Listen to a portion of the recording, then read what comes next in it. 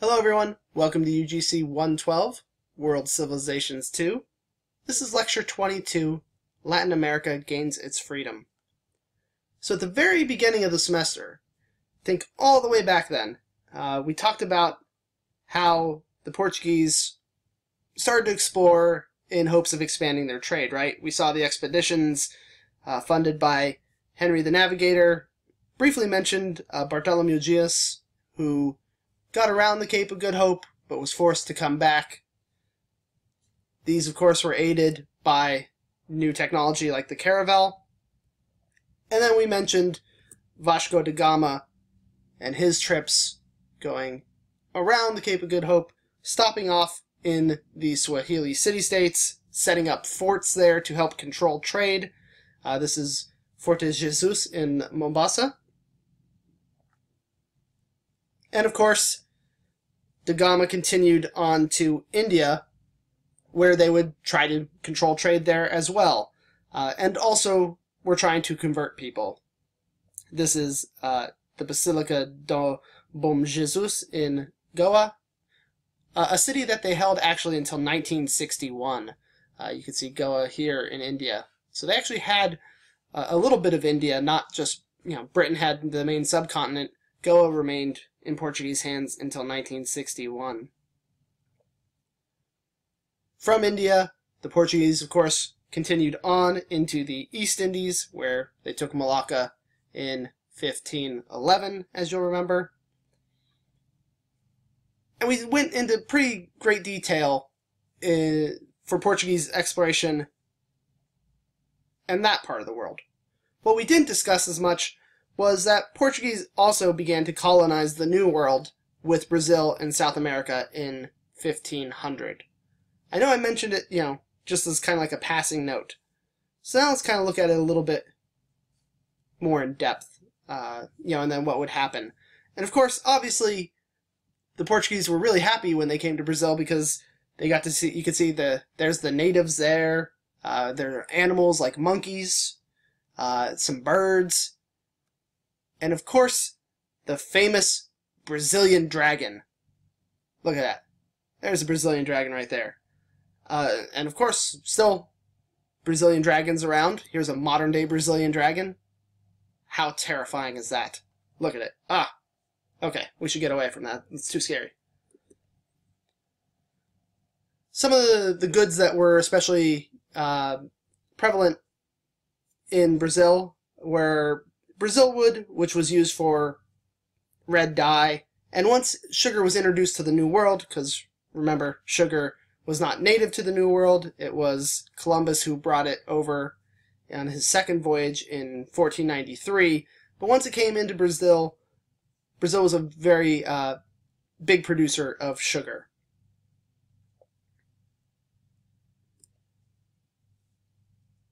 So here we can see Portuguese colonization of Brazil early on, um, and then moving inwards uh, later. And Columbus is a good segue because it wasn't just the Portuguese who were active in the New World. You have all this red up around here. Uh, remember Columbus in 1492 and then his return voyages. Uh, he was working for Spain. We briefly mentioned Hernan Cortes, who conquered the Aztecs from around 1518 to 1520, as well as Francisco Pizarro, who conquered the Incas from 1532 to 1533. So, there are those Aztecs, uh, defeated by Cortez, and then down here are the Incas, defeated by Pizarro.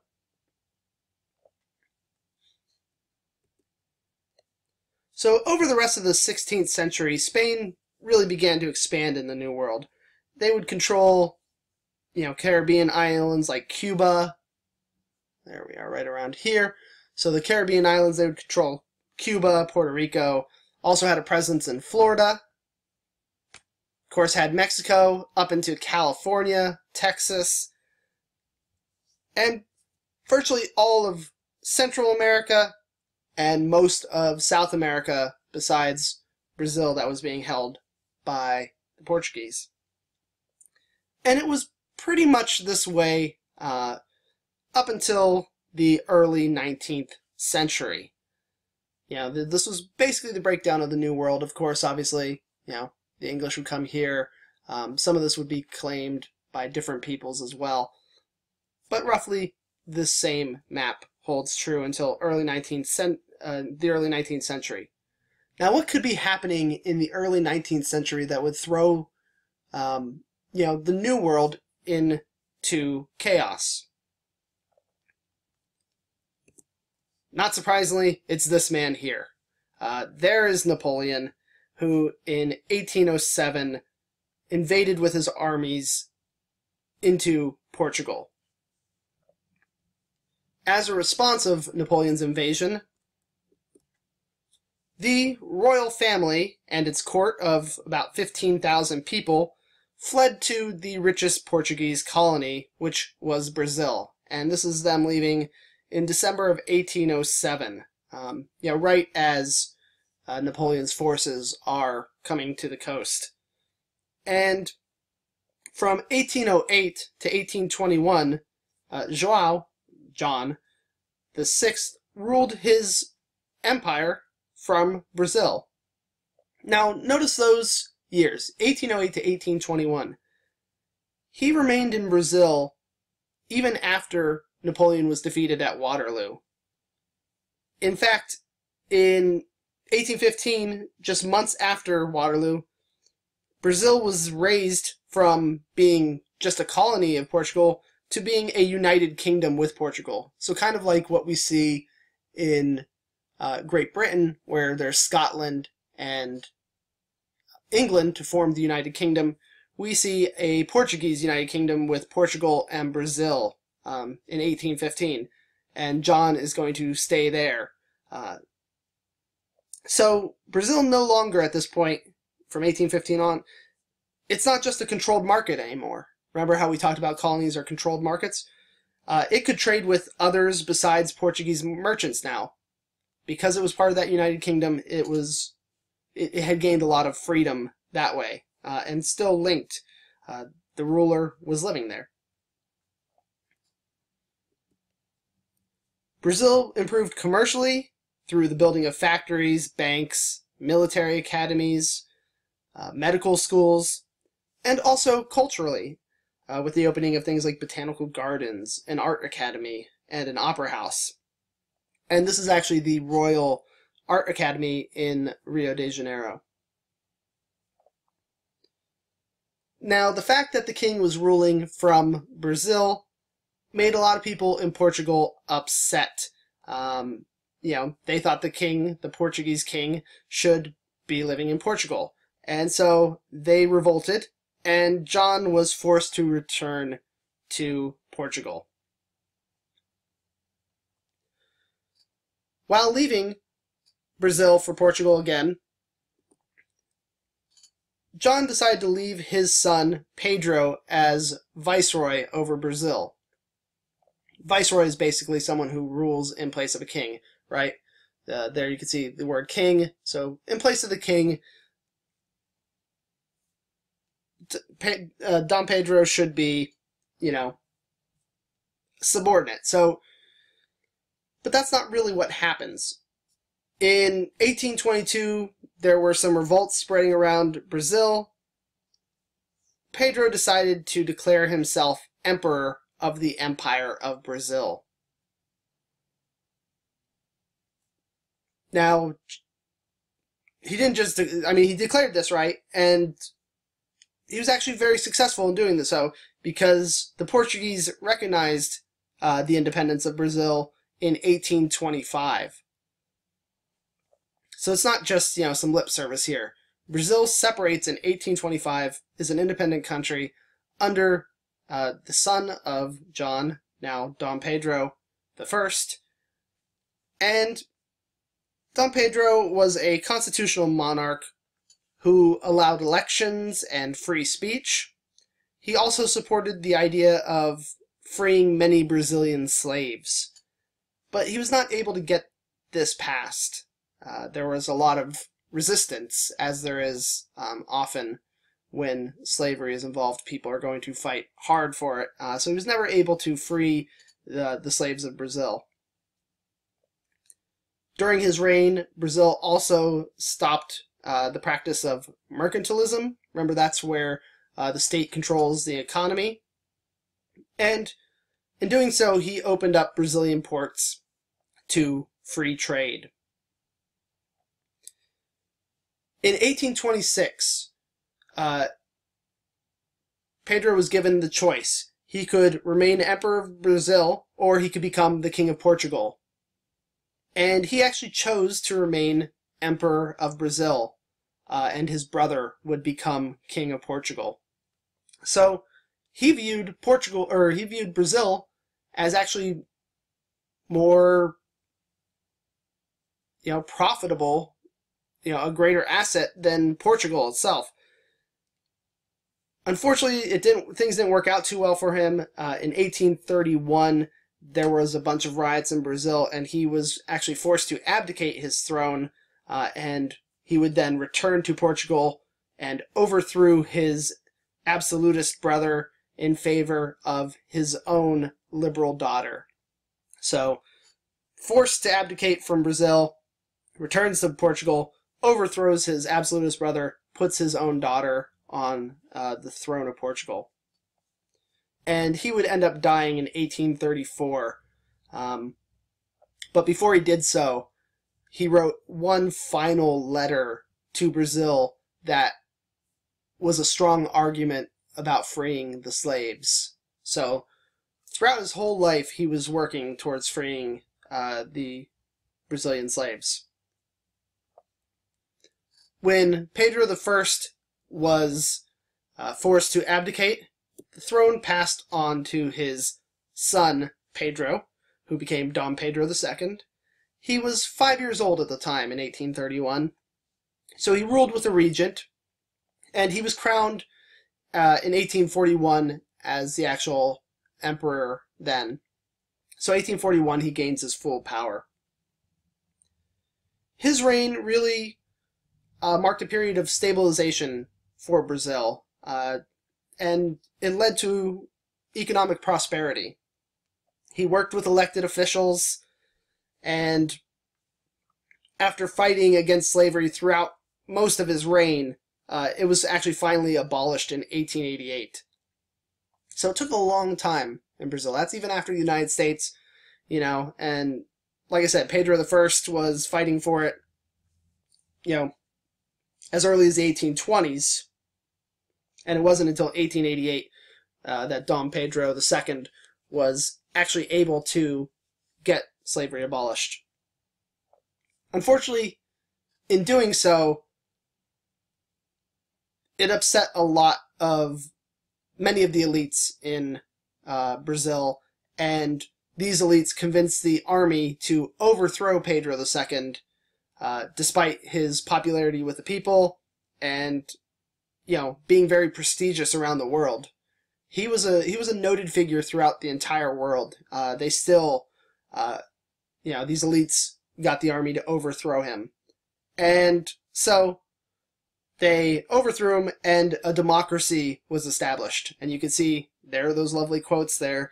Uh, because this isn't a democracy at all. It's really an oligarchy controlled by those uh, Brazilian elites who would have been mainly Portuguese by birth. And this is what slowly has evolved into Brazil's modern government. Um, this oligarchic type democracy. Um, still very, very oligarchic leaning. Now, once Don Pedro II is overthrown, the history books will tell you that he fled to Europe and then died in 1891. But I'm pretty sure that he actually moved to Hollywood and is now Jeff Daniels. I mean, look at this. It's uncanny. I don't know which one's which. I think this is that's Dom Pedro, right? Dom Pedro the second's there. Jeff Dan. I can't tell. Yeah. So you know, believe the history books if you want. I'm pretty sure he's Jeff Daniels.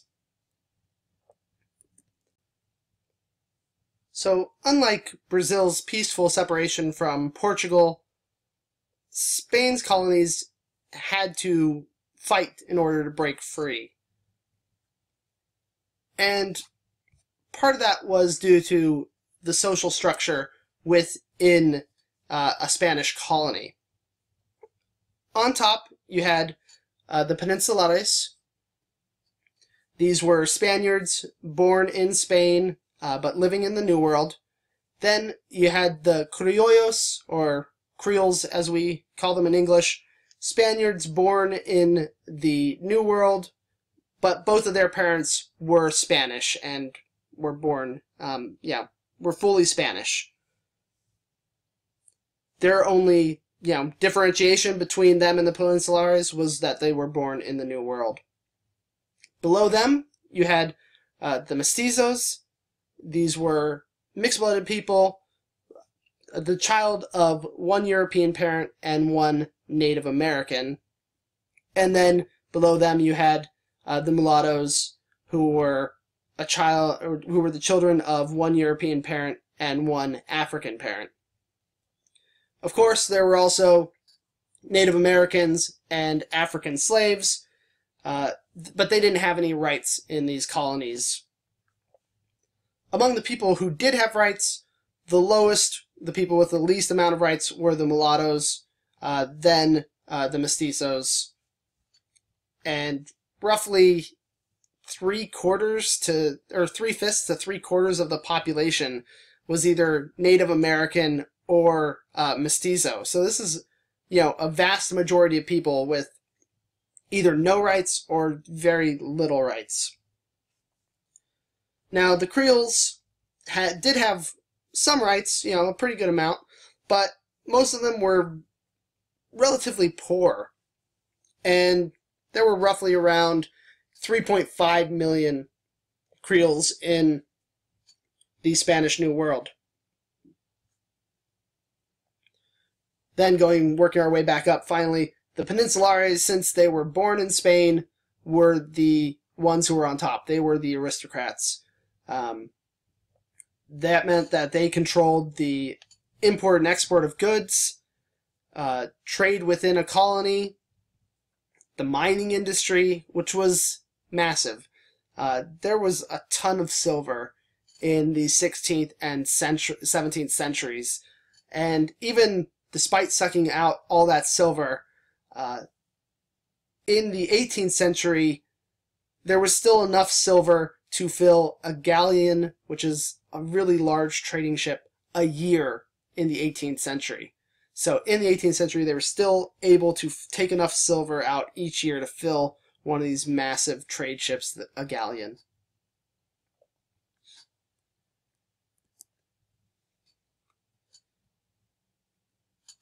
So in the from 1550 to the 1700s, Spanish colonies became more economically independent, uh, in part because uh, the Board of Trade, which was founded in 1503 by Isabella, had become too bureaucratic and couldn't really effectively control the colonial markets anymore. So they had, you know, this board of trade, but there was just too much red tape and it lost control over the colonial markets. This meant that the colonies really began to produce their own goods and their own food. Uh, instead of buying Spanish goods, they would then trade with each other. So we see this, you know, the Spanish New World kind of separating economically from Spain.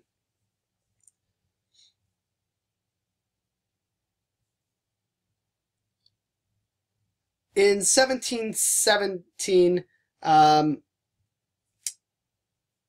the Spain tried to make the colonies more dependent on the Board of Trade, which is also called the uh, Casa de Contratacion, uh, by moving it from Seville to Cadiz. And so thus thus they were trying to separate it from the bureaucrats. Um, you know, hopefully, if you remove those bureaucrats, you'll be able to have the Board of Trade being the ones in control again. Um, but by 1790, this Board of Trade was banished altogether. So that, you know, Casa de Contratacion completely gone by 1790.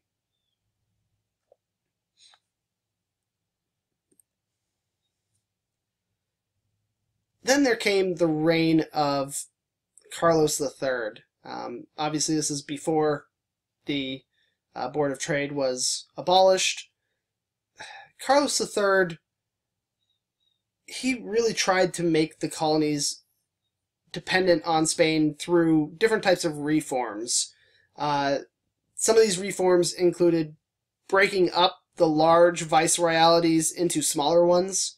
A viceroyalty is just ruled by viceroys. You know, what we saw um, Dom Pedro I was supposed to be.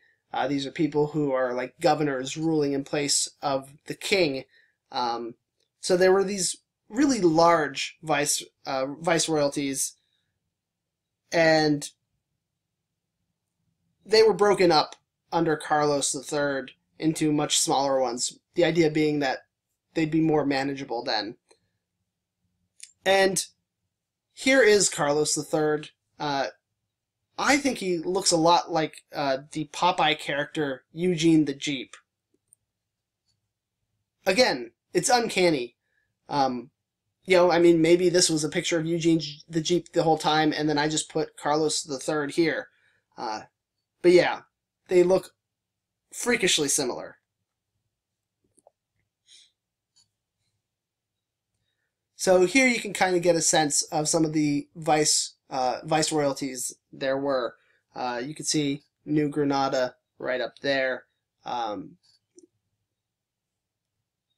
there's Rio uh, de la Plata there. And these there was free trade allowed.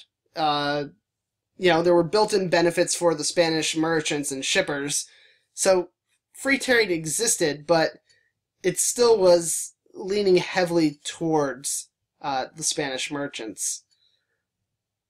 Local goods could no longer really compete because of you know the benefits towards the Spanish merchants and slowly they were beginning to be forced out of the world market. So, you know, what we saw before the reign of Carlos III, where the colonies just basically relied upon themselves, you know, they trade amongst themselves.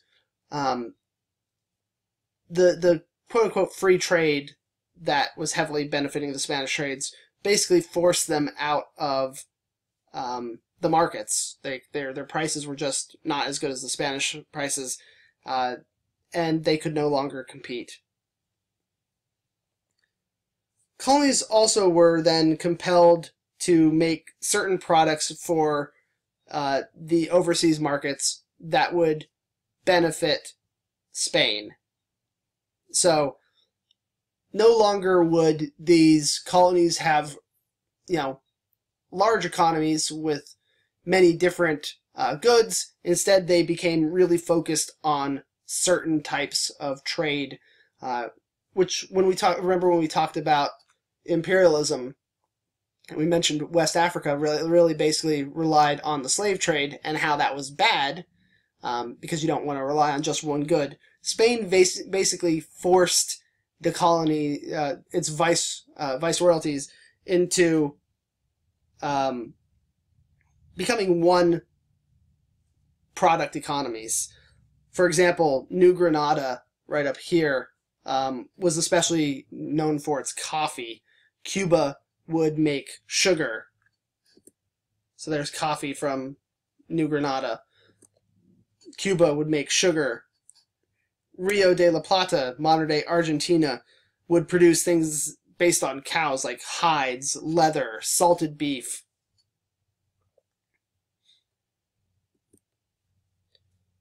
Of course, Rio de la Plata, with the name de la Plata meaning silver, uh, New Spain, which was Mexico, and Peru also would then supply silver because that's where the silver mines were. Um, here you could see some reales uh, from a shipwreck. So these are Spanish real, uh, reales taken from uh, the New World. Because of this, local client, local trade declined, you know, from 1778 to 1788, and trade between Spain and its colonies increased 700%. So these reforms that Carlos was putting through um, really made the colonies dependent upon Spain economically again. And, you know, this was the type of trade that Spain controlled and thus profited from uh, the most. You know, this Spanish trade, or this uh, silver trade, I mean.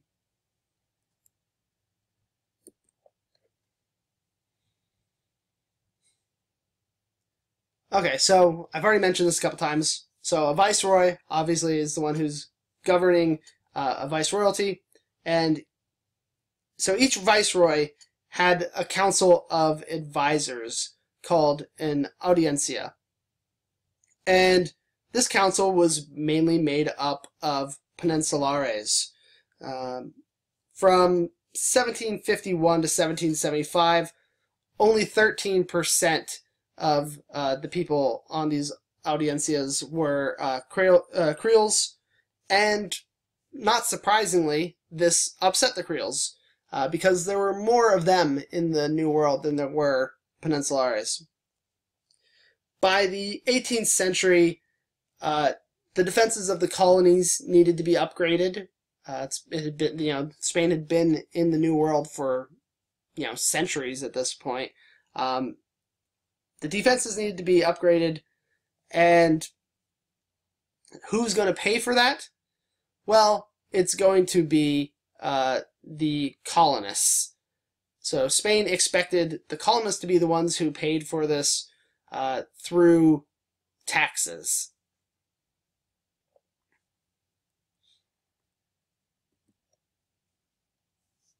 So here's a, a quick little re recap of why trouble was brewing in uh, the Spanish New World. Spain had attempted to regain control of colonial commerce, right? Uh, this resulted in the destruction of the local colonial trade system that had, you know, kind of developed uh, as the Spanish system had broken down initially. Locals could no longer compete with Spanish goods in the local or world markets. Uh, the Creoles didn't play much of a role in governing the countries, or, you know, the, the colonies the mestizos and the mulattoes were denied many rights, and the native and slaves, uh, the natives and the slaves really had no rights at all. And then finally, you add on top of that the fact that the colonies were now being forced to pay for the upgrades to their defense. Uh, there are a lot of different types of people here upset uh, with Spanish rule. And so what we see is a wave of revolts, and this is going to just be the first wave of revolts. Uh, in Peru in 1780, uh, there was a man named Jose Gabriel uh, Condorcanqui who claimed to be a descendant of the Incan royal family uh, and began to call himself Tupac Amaru II. Um, Tupac Amaru I was the last Incan ruler so he's taking on this title now, claiming to be uh, the legitimate ruler of the former Incan uh, empire down in South America.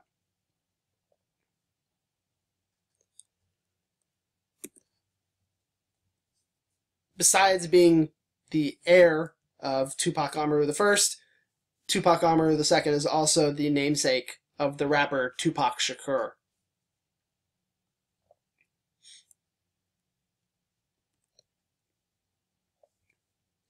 So Tupac Amaru II led a force of Native Americans and uh, Castas, which was a general term for people of mixed origins.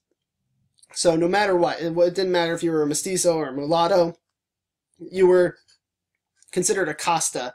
And that was the general term for you. And with this force of Native Americans and castas, uh, he was very successful uh, in you know, causing havoc in the interior of the country. Uh, this included capturing uh, the governor of Peru uh, and having the governor's slave then execute uh, him.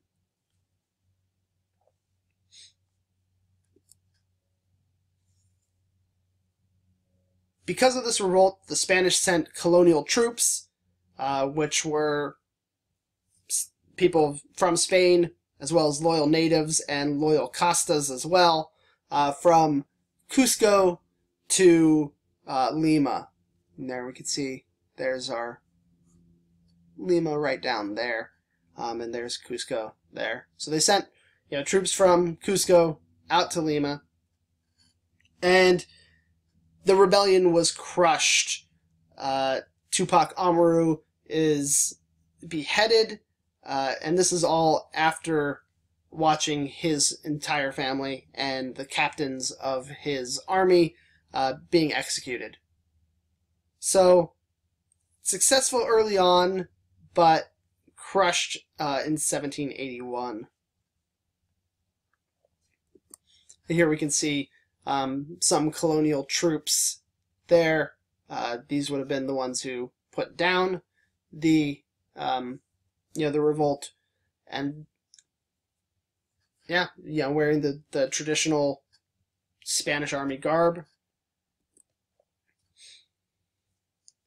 So in New Granada now, uh, in 1781, the viceroy decided to raise the taxes, right? The there's New Granada again, right up there. Decided to raise the taxes because you know they were being expected to pay for these uh, defensive upgrades. The peasants and the workers of New Granada decided then to elect a, commune, and this was like a, a central committee, uh, and their purpose was uh, to lead a revolt.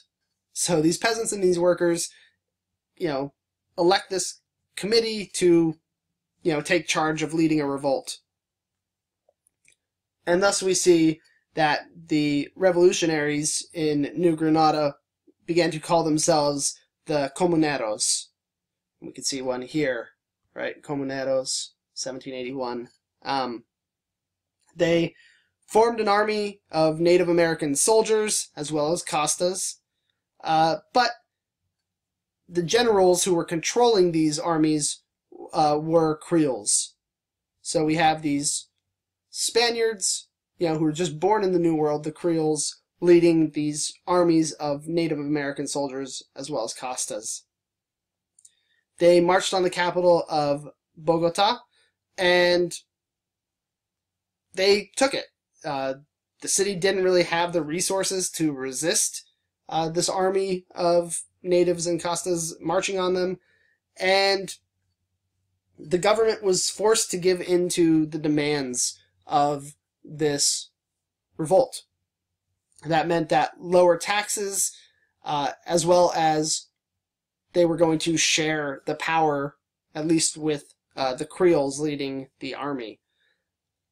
Because they got what they wanted, the rebel army decided to disband, and the government said that everyone would be pardoned. Once the army was disbanded, you know, despite this pardon, the government then raised an army itself, collected taxes, captured all of the leaders of the Comuneros, and imprisoned them for life. So, not pardoned at all. Uh, it just bought the government time to form their own army in order to, you know, strike back at those who led uh, the uprising.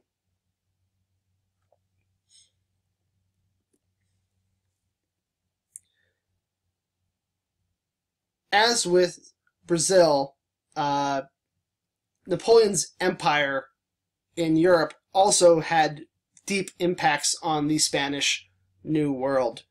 You remember in 1807, Napoleon's armies invaded Portugal, causing the royal family to flee to Brazil. Well, Spain was allied with Napoleon to let them to let him and his troops go through their territory, but Napoleon was not really a great ally. because as he was, you know, marching through Spain to get to Portugal, uh, he decided that he wanted not just Portugal, but in fact all of the Iberian Peninsula for himself. For that reason, he forced Ferdinand VII to abdicate his throne as king and replaced him with his own brother Joseph. And you can see here is Ferdinand VII replaced with Joseph. And we talked about Ferdinand VII uh, a little bit when we talked about the revolutions. Um, Spain would fight a very intense, long war trying to drive Napoleon out. Uh, this was that part where, remember how I said that Napoleon was never really successful in Spain? Uh, that's because Spanish were constantly trying to revolt away from uh, Napoleon and France. Uh, never accepted Joseph Bonaparte as their king. Um, but by trying to resist Napoleon uh, constantly, Spain was greatly weakened itself. And this weakened Spain, uh, the fact that it was, you know, taken over by Napoleon, uh, led to the second wave of revolts. Um, from roughly 1815 to 1826, we see, um, yeah, this this wave come up because Spain is in its weakened state. Um, colonies basically from Mexico to Argentina are going to revolt. Like earlier, uh, the Castas, those mixed those mixed race people, as well as natives, made up the bulk of the soldiers, whereas the the Creoles were the generals. So the main armies were made up of mixed race people and natives, but the Creoles, the you know, the Spanish people but born in the New World were the generals. You can see here uh, Simon Bolivar, uh, who sometimes is referred to as the George Washington of Latin America. Um, the textbook calls him that. Um, he was in uh, New Granada, and then uh, Jose San Martin, who was uh, ruling Argentina and Peru, or not ruling, but revolting from Argentina and Peru, um, and had in fact fought against Napoleon for Spain earlier, uh, Jose San Martin. We see them uh, uniting here. Uh, whoop. Oh, good. Don't want to get there yet. There's Simon Bolivar. Uh, there's Jose San Martin. Bernardo, Bernardo O'Higgins just wants to jump into this. Uh, here's Bernardo O'Higgins. He was an Irish grand. He had an Irish grandfather uh, who had moved to South America and fought in uh, Chile uh, along with the help of uh, Jose San Martin. But again, here we see uh, a European. These are all European people ethnically. They've just been born in the New World. And then there's Augustin uh, de Iturbide in Mexico. Um, and here you can see the pioneer of the one glove look. There's his one glove and not wearing it the other. Uh, so this is years before Michael Jackson did it. So these revolts led by these different men, these different Creoles, uh, were very successful. Uh, Spain was too weak to really put these down, uh, and so each little bit, you know, is able to break free. But there was really no unity among these new states. Um, also, because they just kind of revolted, there was really no plan on how to govern these new territories, um, these new, you know, independent states uh, without the old Spanish system. Uh, and so, without any real plan, what kind of happened was the Creoles just kind of assumed the place that the old Peninsulares had and they basically just rule began to rule like the Peninsulares had. So the Creoles just took the place of the Peninsulares and used the system against everybody else who had helped them um, you know, gain freedom. Because of this, conditions really didn't improve much for most mestizos and most mulattoes. And it was because of this that democracy never really was was well established in the Latin American countries.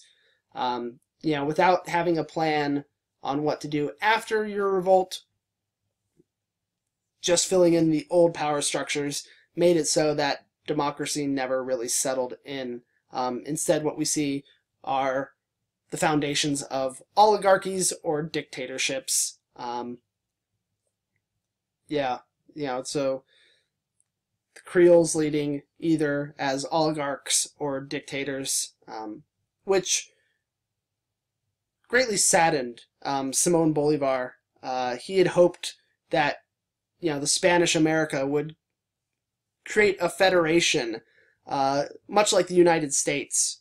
Um, never really happened, so he ended up actually becoming the dictator of Gran Colombia. Uh, after the a constitution could not be gr- agreed upon even in his own um, little country.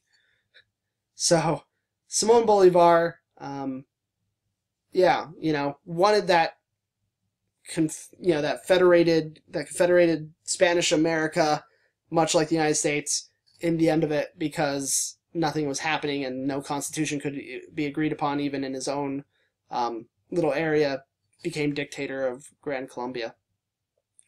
Bernardo Higgins, who we saw, he would become the dictator of Chile.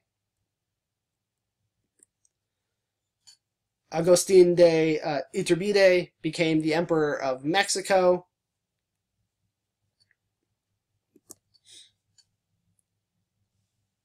It was also really common in these new states to begin to fight with each other so, you know, each side fighting with each other, or to have civil wars uh, within their own country.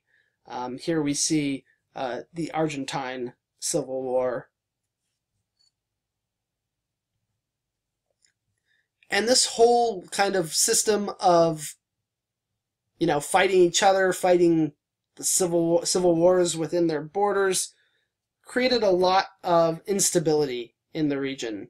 Um, you know, we saw that they weren't united with each other. Uh, they had this power structure of oligarchs or dictators. Um, and thus, what we see is what is basically what we call neo-colonialism.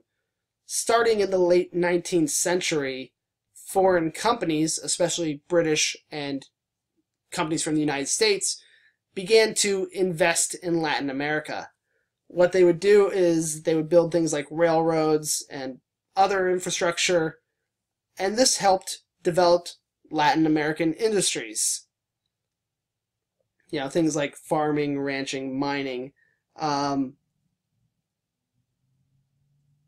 but these investors were the ones who began to own the businesses, and they gained control of these industries and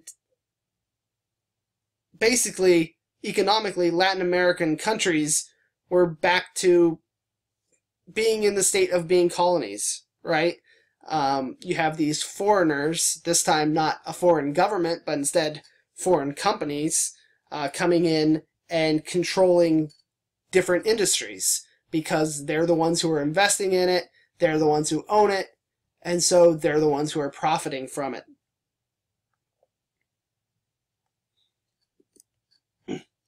Here we can see, um, you know, one of the products, especially uh, found in Latin America, was uh, rubber.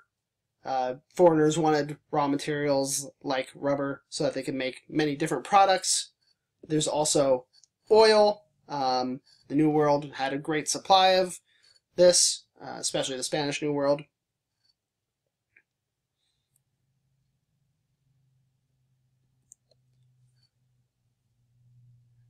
And because of these new industries that were coming around, um, cities began to grow and to prosper with these uh, newer industries.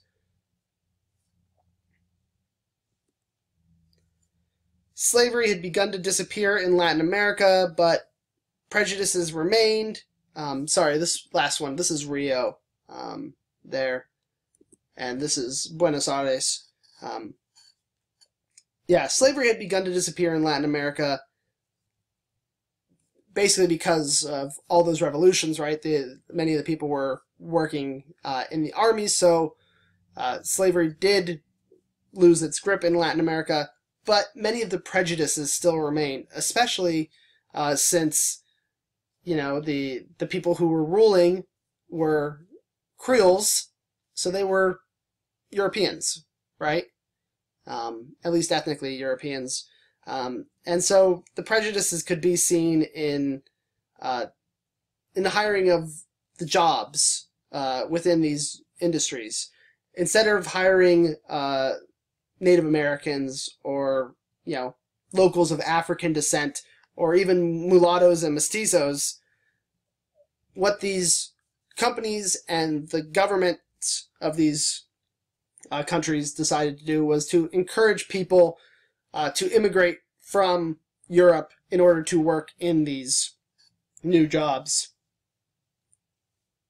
Not surprisingly, these immigrants became supporters of the political elite and the business elites, uh, and that slowly began to change um, throughout Latin America. Uh, you know, as it, it just kind of reinforced this idea of, um, you know, who's in power uh, and a really a, a, a racial divide uh, in many senses.